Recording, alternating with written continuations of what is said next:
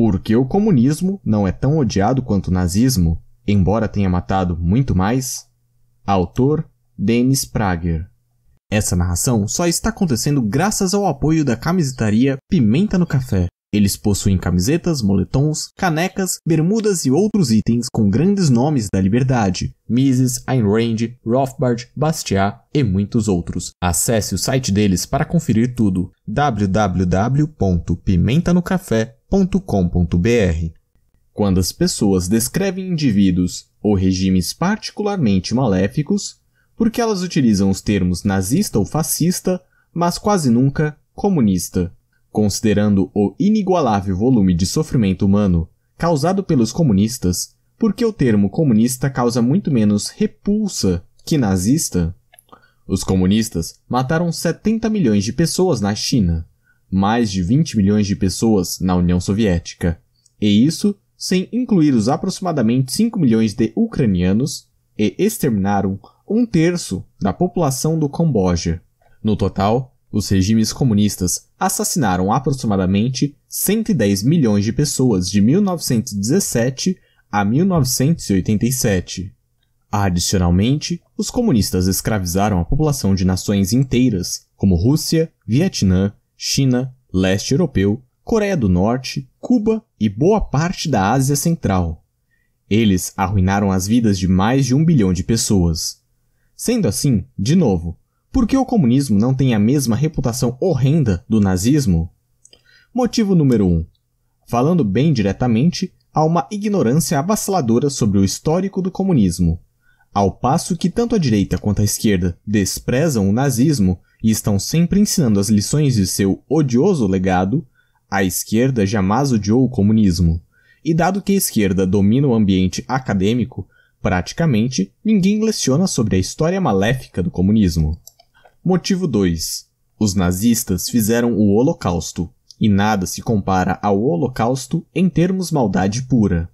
A perseguição e a captura de praticamente todo e qualquer indivíduo judeu, homens, mulheres, crianças e bebês, no continente europeu e o subsequente envio de todos eles para campos de concentração e trabalho forçado, onde em seguida eram assassinados, foi algo sem precedentes e sem paralelos em termos de perversidade. Os comunistas mataram muito mais pessoas que os nazistas, mas jamais se igualaram ao Holocausto em termos de sistematização do genocídio. A singularidade do Holocausto e a enorme atenção corretamente dada ao fenômeno ajudaram a garantir ao nazismo uma reputação bem pior que a do comunismo. Motivo número 3. O comunismo se baseia em teorias igualitárias, que soam bonitas e humanitárias para os mais ingênuos. Já o nazismo, não.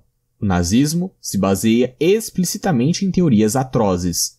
Intelectuais, inclusive é claro, os intelectuais que escrevem a história, são, no geral, seduzidos por palavras. Eles tendem a considerar que ações são menos importantes do que palavras e intenções. Por esse motivo, eles raramente dão às horrendas ações do comunismo a mesma atenção que dão às horrendas ações do nazismo. Eles raramente atribuem aos comunistas a mesma responsabilidade que atribuem aos nazistas. Nas raras vezes em que reconhecem as atrocidades dos comunistas, eles as ignoram, dizendo que foram perversões do verdadeiro comunismo, o qual teria sido deturpado.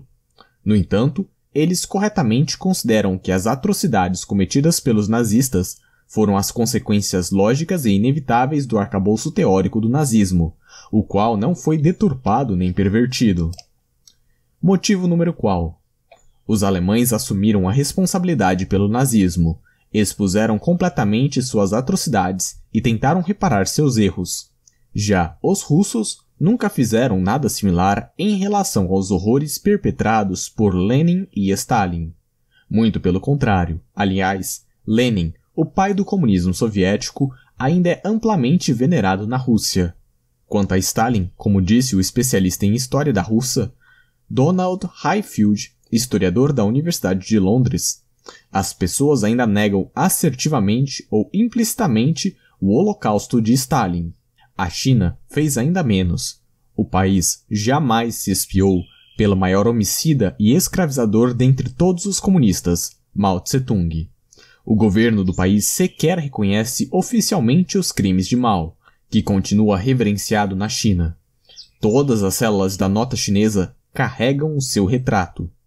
Enquanto Rússia e China, e Vietnã, Cuba e Coreia do Norte não reconhecerem e admitirem as atrocidades que cometeram sob o comunismo, os horrores do comunismo continuarão menos conhecidos do que os horrores cometidos pelo governo alemão sob Hitler. Motivo 5. Os comunistas assassinaram majoritariamente seu próprio povo. Já os nazistas mataram relativamente poucos alemães. A opinião mundial, esse termo amoral e praticamente sem significado, considera que assassinatos de membros pertencentes ao mesmo grupo são bem menos dignos de atenção do que o assassinato de quem está fora. É por isso que, por exemplo, negros chacinando milhões de compatriotas negros na África não obtêm praticamente nenhuma atenção da opinião mundial. Motivo 6. Na visão da esquerda, a última guerra justa foi a Segunda Guerra Mundial, a guerra contra o nazismo alemão e o fascismo japonês. A esquerda não considera que guerras contra regimes comunistas sejam guerras justas. Por exemplo, a guerra americana contra o comunismo vietnamita é considerada imoral. Já a guerra contra o comunismo coreano e seus apoiadores comunistas chineses é simplesmente ignorada. Enquanto a esquerda e todas as instituições influenciadas pela esquerda continuarem se recusando a reconhecer quão atroz, maléfico e desumano foi o comunismo, continuaremos a viver em um mundo moralmente confuso, no qual ideias abertamente comunistas são saudadas por intelectuais influentes e políticos declaradamente simpáticos a este regime são eleitos e respeitados. Em respeito às vítimas do comunismo, devemos estudar, aprender e divulgar tudo o que elas sofreram sob este regime.